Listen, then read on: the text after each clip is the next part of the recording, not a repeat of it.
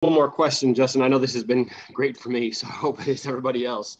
Yeah. But is you know what about what about surrender? You know, and surrendering to God, and you know, uh, even for the I guess you could say even for the lost person, or even for a person that man has accepted Christ and is looking, as you said, to have that freedom in their life. How, how do they surrender, and how do they? And it might be two different questions, but I guess how do they overcome sin? How does this enable us to overcome sin? And I think this is the toughest thing for me to answer, Jim, because I don't like the answer. Is it's a response to Christ revealing himself to us. Like I know I've I've I've counseled people who are like, man, I just want to surrender to God. I just want to stop this sin. Or I just I want to stop struggling you know, and going back into my old life and going back to church. And, but at the end of the day, I know they don't have a revelation of who Christ is. Like, that's the only response. Like, once you see the gospel and Jesus for who he really is, the only response is, what must I do? Like I, I'm I'm dead to myself. Like I want nothing but what you have to offer. But people aren't there, so you can give them a step like, hey, you got to surrender.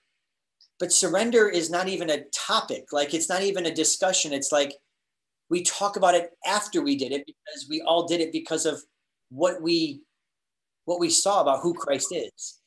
It's not about man give up this for christ. Why, why would i do that? Oh yeah you don't even get it then. Like you don't even have to talk about giving up to christ to people who know what it is and that's what paul said i've i've had a pedigree but at the end of the day, I consider it all what rubbish. Like it, it is completely, he calls it dung compared to what? Knowing Christ. Uh, so that revelation that he got was like surrender. You don't ever have to talk to him about surrender. Why? It's it's it, it's a non-equation to somebody who goes, I know Jesus is real. But to those who are struggling to see him, yeah, you can't take them through that steps. You can't take them through the deny yourself, take up your cross. Why? those are steps that they're unwilling to do, but they want to do because they want to surrender, but they don't truly have a revelation of Christ. And so I don't know how to get people a revelation of Christ. That is something that Peter said, Jesus said, Who do men say that I am?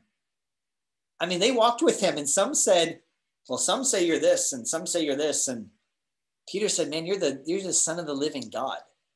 And he said, Peter, man, man did not tell you that. God did and Peter had a surrendered life and he still screwed up. But he mm-hmm. every single one of those guys died a crazy death. Yeah, I think um die if you were if you saw Jesus for who he is.